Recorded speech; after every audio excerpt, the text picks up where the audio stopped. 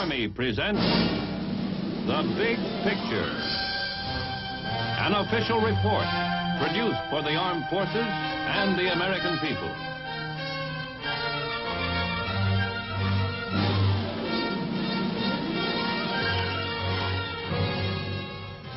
It is rare in history when a man who has distinguished his name in war goes on to greatness in peace. But for George Catlett Marshall, it was a short step from a brilliant military career to his role as statesman, diplomat, peacemaker, winner of the Nobel Prize for Peace. Throughout his long career, General Marshall served the most enduring ideals of a free people. His record has represented the best in the democratic tradition. Walter Cronkite, distinguished correspondent, is our guest narrator as the U.S. Army proudly turns back a page of its own history to salute citizen soldier George Marshall.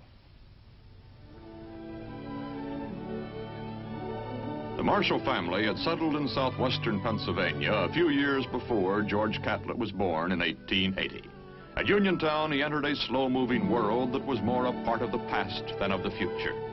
Marshall's boyhood passed quietly, and the only contact this serious child had with the army he would someday serve came secondhand through his father's recollections of the Civil War.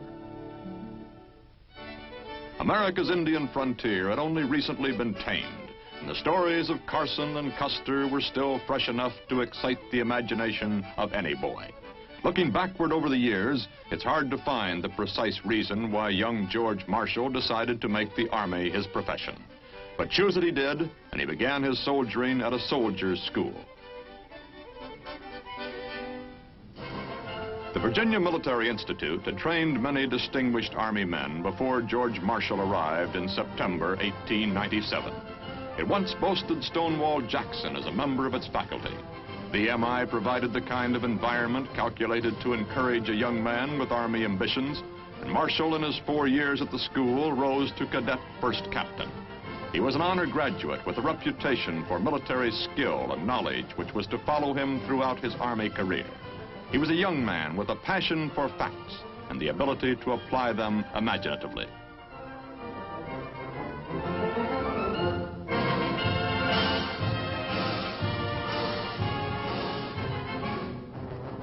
Commissioned an infantry second lieutenant in 1901, Marshall shortly found himself on troop duty in the Philippines. Assignments in Oklahoma Territory, Texas, Massachusetts, and the Fort Leavenworth Staff College filled the early years. He studied and soldiered, and by the time the United States began to mobilize for war in 1916, George Marshall had become a captain in the regular army. He landed in France with the 1st American troops, and as a member of the 1st Division staff, he helped plan the Battle of Cantigny.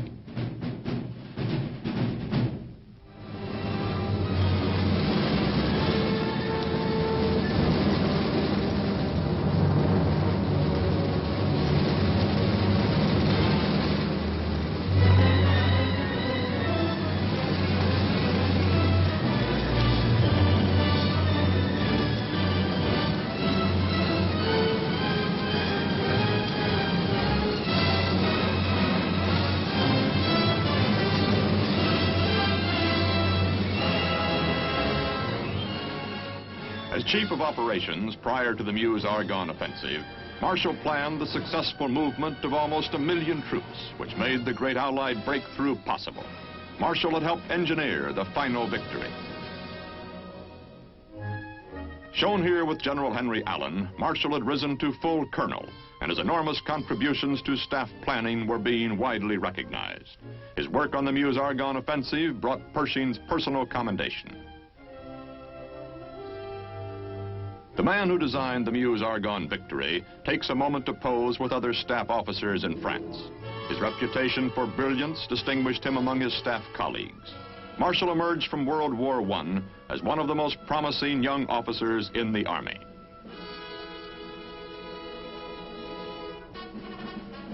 Assigned as aide to General Pershing, Marshall's work kept him in close contact with the AEF commander during the last days in Europe.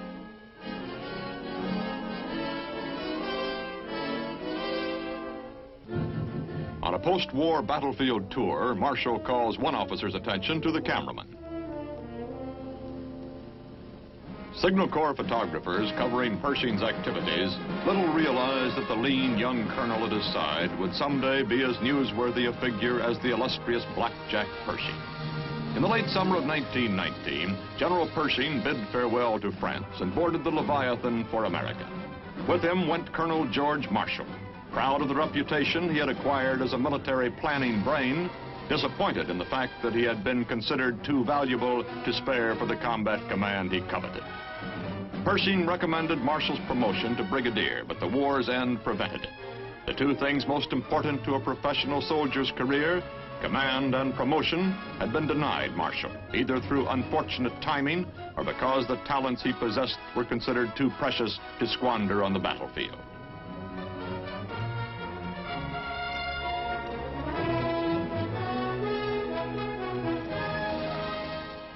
Marshall's return was a time of triumph and frustration.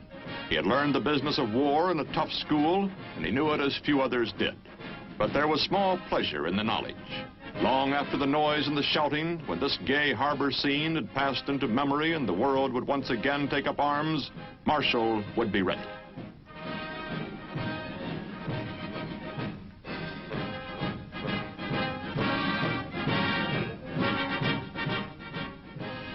As the Leviathan docked in New York, he was still an obscure staff officer with a cinder in his eye. Following Pershing meant a constant round of official appearances. These were the years when American defense policies affecting the future security of the nation were being decided. The post-war role of the Army was debated by both military and political leaders. Pershing believed in a tight, hard, professional force backed by a large citizen army. In Marshall, he found an enthusiastic supporter. It was this kind of army which had brought victory out of Europe in 1918.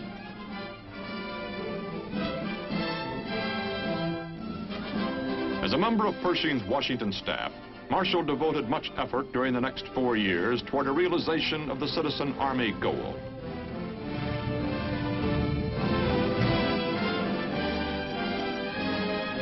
Nineteen twenty-four brought duty with the 15th Infantry Regiment in Tientsin, China. With the commanding officer of the 15th, Colonel Newell, Marshall posed for a rare picture in mufti. This was his first actual troop assignment in almost 10 years. The 15th Infantry was operating well enough when Marshall joined it as executive officer. But by the time he left, it had become a crack outfit. In the middle 20s, China was fragmented by civil war and revolution, and the private armies of Chinese warlords fought in all parts of the land for national advantage. The mission of the 15th Infantry was to help protect both American trading concessions and American lives. It was a tense but quiet assignment for Marshall, and before he finished his tour, the 15th had acquired a reputation for smart appearance and snappy precision. It could outperform and outshine every other garrison regiment in Tientsin.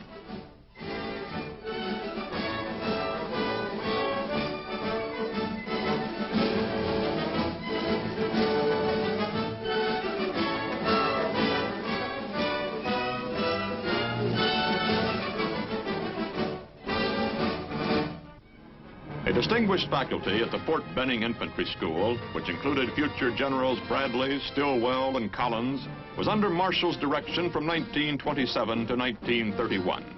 When he took over the school, one of the most important in the Army, he found much of the instruction had fallen behind the times. But this hard-driving man with the passion for facts was not satisfied to refight old wars. It was the present and the future which concerned him, and he revised the curriculum accordingly.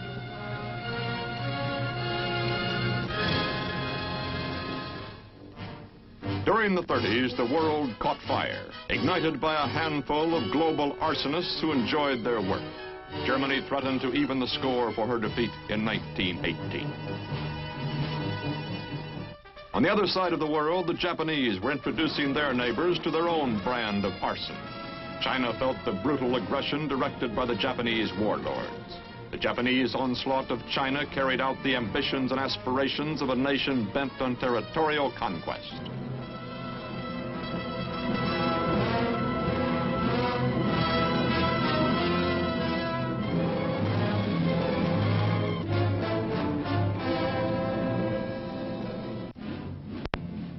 A while, many of us laughed at a comic opera character speaking from a Roman balcony. But his intended victims in Ethiopia did not laugh. They were a proud and fierce people determined to resist the Italian dictator's aggression. Benito Mussolini invaded the tiny African kingdom anyway, and another piece of earth caught fire.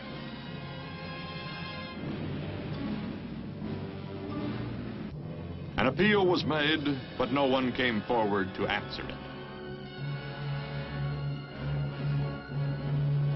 Mussolini demonstrated for his friends how easy it was. The day Germany invaded Poland, George Marshall, then a brigadier general, made the extraordinary jump from one to four stars to become the Army Chief of Staff. With Secretary of War Stimson, the task of mobilization lay ahead. The resources of a mighty nation had to be tapped to produce the props for the great drama about to unfold. Marshall had waited in the wings for 20 years for the role he was about to play. The country's manpower resources, the great citizen army in which Marshall believed so deeply, had to be activated, trained, and equipped to fight if necessary. And with each passing month in 1940 and 41, it appeared increasingly probable that the United States would be drawn into the war. The Army numbered less than 200,000 men when Marshall took over as Chief of Staff. It would swell to more than 8 million before the Axis defeat.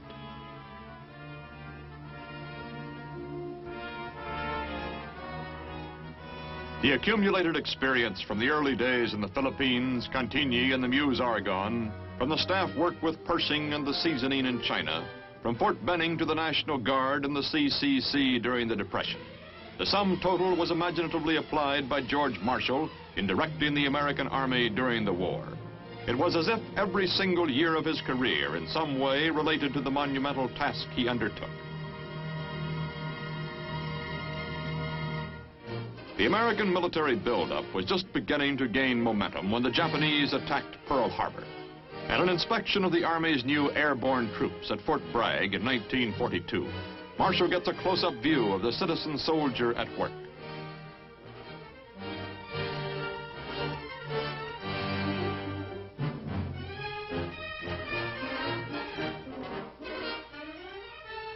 Field soldiers never knew when the Chief of Staff might make an appearance such as this one at the Jungle Warfare Training Center in Hawaii. Marshall might do his thinking and planning in Washington, but it was from the field that he drew his facts. A gifted observer, the smallest detail did not escape him. Army subordinates were either proud or dismayed by Marshall's critical appraisal, depending upon the performance.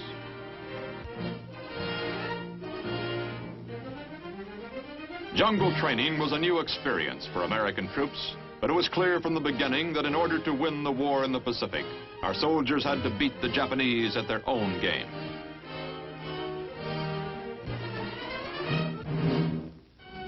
In the forbidding gray of a November dawn in 1942, American naval vessels ghosted in toward the beaches of North Africa, delivering the first major Allied counterattack since the outbreak of the war. Their objective, the German Afrika Korps in Tunisia. The enemy was led by Germany's ingenious Field Marshal Erwin Rommel, the Desert Fox. His veterans already had been baptized by the battle-toughened British Tommies. Desperately, with everything they had, the Germans fought to keep from being pushed into the sea.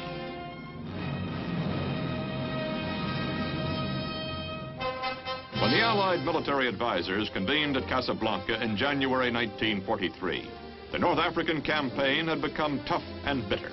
But the achievement of a unified Allied command was part of the ultimate victory. Marshall had worked tirelessly to achieve a smooth-running command organization at the highest American level. He held the President's trust and regard and was consulted on every critical decision affecting the conduct of the war. Marshall's diplomatic skill helped reconcile many opposing points of view with British leaders during the Casablanca Conference. From the North African meetings came the Allied decision to bomb Germany around the clock. American B-17s helped carry the war to the German backyard.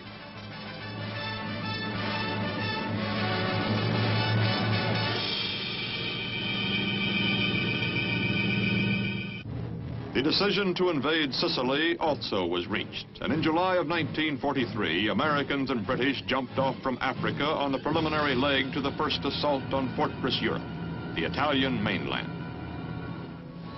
A strong partisan for the Women's Army Corps, as important to our mobilization, the Chief of Staff made it a point to be in Washington the day Colonel Oveta Hobby was sworn in as its new commander. By the time the Allied leaders convened at Cairo in December 1943, the Italian campaign was well underway and the war against the Japanese demanded stepped-up operations. The future of the China-Burma-India theater and the problem of harnessing China's manpower had to be resolved. At Tehran, Marshall took part in planning joint strategy with the Russians. Soviet demands for an expanded second front were addressed to the United States. It was George Marshall who answered them. When the Chief of Staff visited the Pacific Theater on his return from Tehran, our offensive was gaining speed. Island by island, we were moving in on Japan.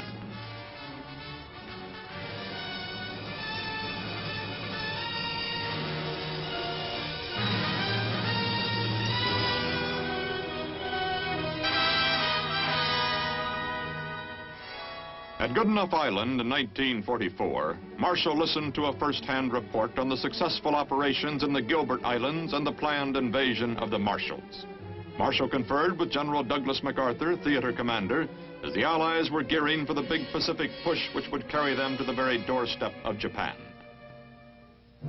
Italy had become a slow and painful struggle. The road to Rome was a long one, and for Marshall and his wife, one of extreme personal anxiety. As a tank commander under Patton, Marshall's stepson had been engaged in the heaviest fighting for weeks. When the Americans finally broke through the lines of a stubborn enemy, the young officer fought his last fight. For General Marshall, the war had turned into a personal tragedy.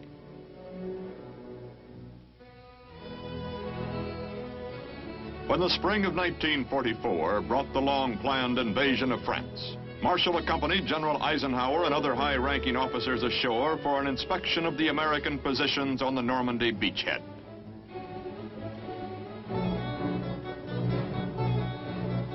Fifteen stars fill this corporal's jeep as Admiral King and Generals Marshall, Bradley, and Eisenhower ride out to survey the battle damage.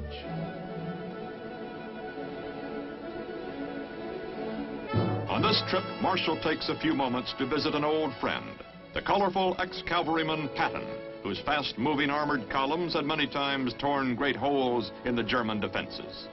Marshall considered Patton one of the ablest field commanders in the Army, the Chief of Staff had personally ordered the Mercurial General to his original combat assignment in North Africa. The subsequent performance of the troops under Patton's command confirmed General Marshall's wise choice. Allied planners met again in 1944, this time at Quebec. A decision was reached to move the invasion of the Philippines three months ahead of schedule. Marshall returned from Quebec to fly immediately to Paris with Secretary of State James Byrnes for another meeting with General Eisenhower. The Chief of Staff was involved with the vast and complicated problem of our global supply lines, and he chose to inspect the divisions poised for the final thrust into Germany.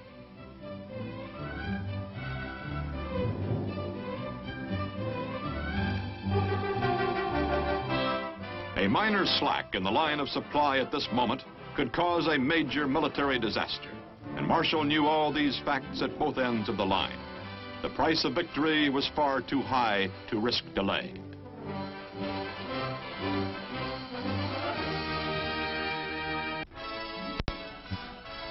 The trip to Europe provided Marshall with another opportunity, a chance to talk with the troops.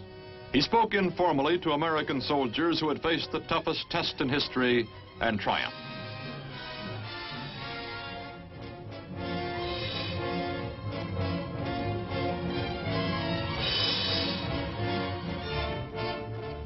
Marshall inspected their positions within range of the enemy, his last close look before the Axis collapsed. And World War II ended with the final capitulation of Japan.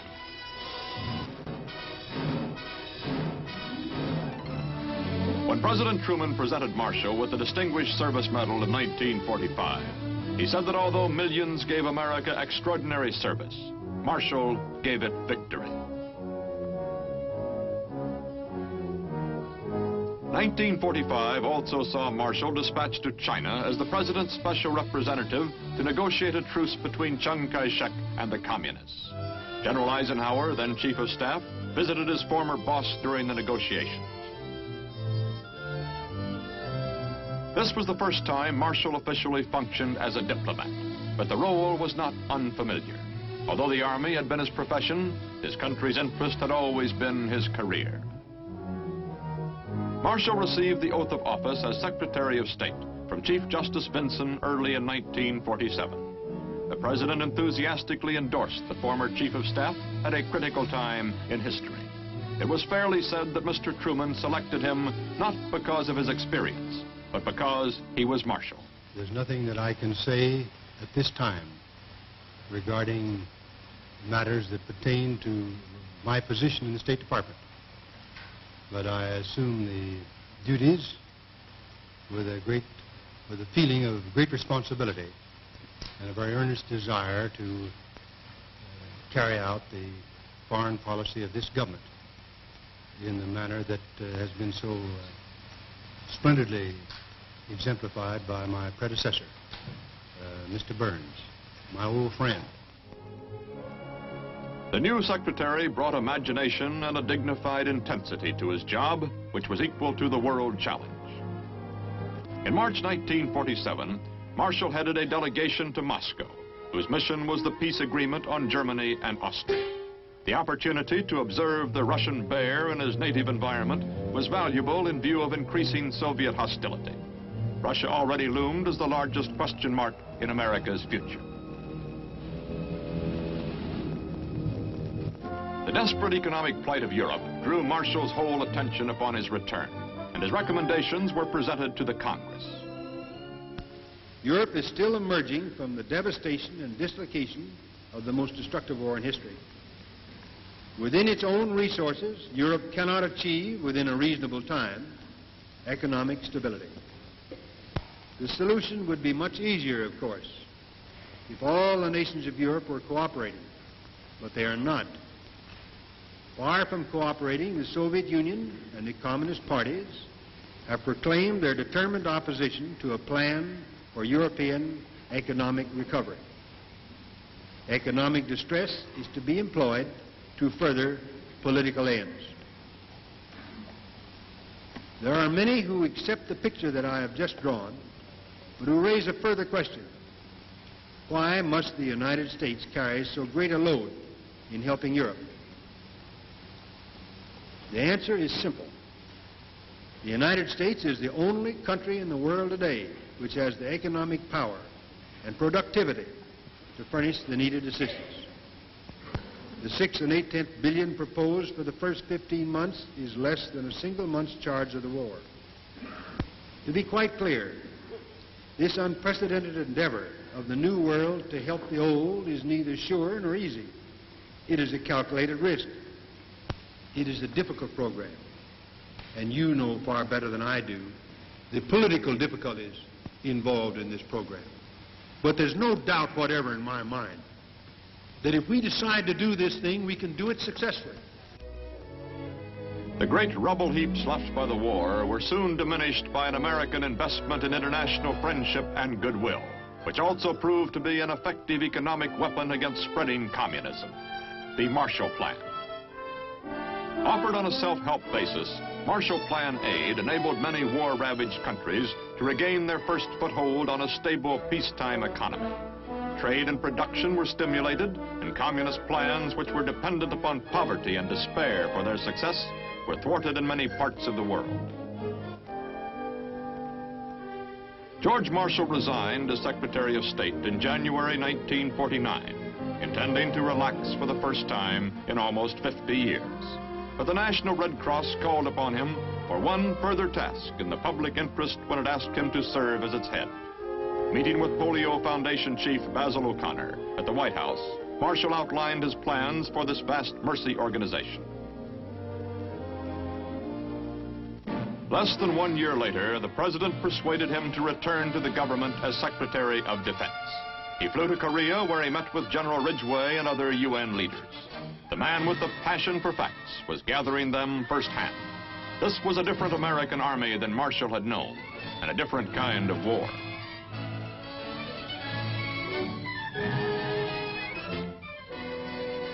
The citizen soldier did the fighting in Korea, but this time under a UN banner and for a limited objective.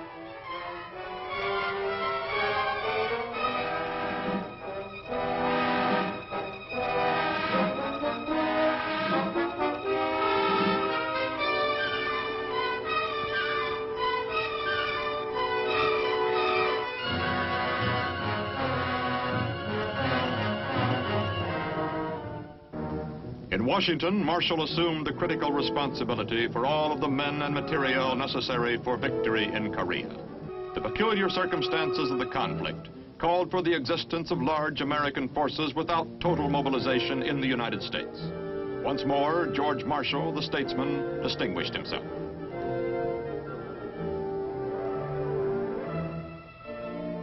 Relaxation was rare for the busy cabinet member, but to the delight of a pretty queen, he did manage to officiate at the Shenandoah Apple Blossom Festival in 1951. On the 50th anniversary of his graduation, VMI paid tribute to General Marshall with a day named in his honor. Many of his old classmates came to Lexington to applaud the school's most distinguished graduates and to recall their years as members of the Cadet Corps.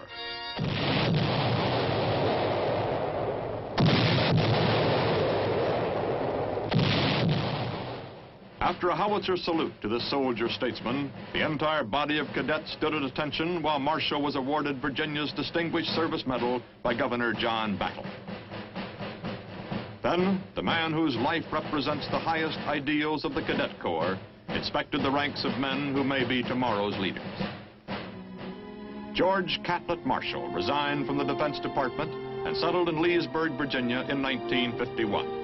His public service spanned a critical half century for our country, placing him in the ranks of great American patriots.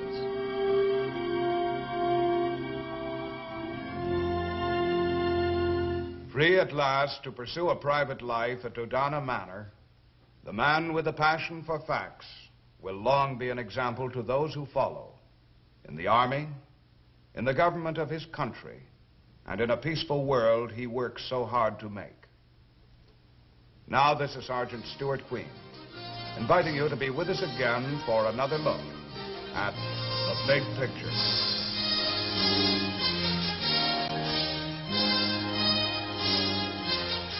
The Big Picture is an official report for the armed forces and the American people. Produced by the Army Pictorial Center. Presented by the Department of the Army in cooperation with this station.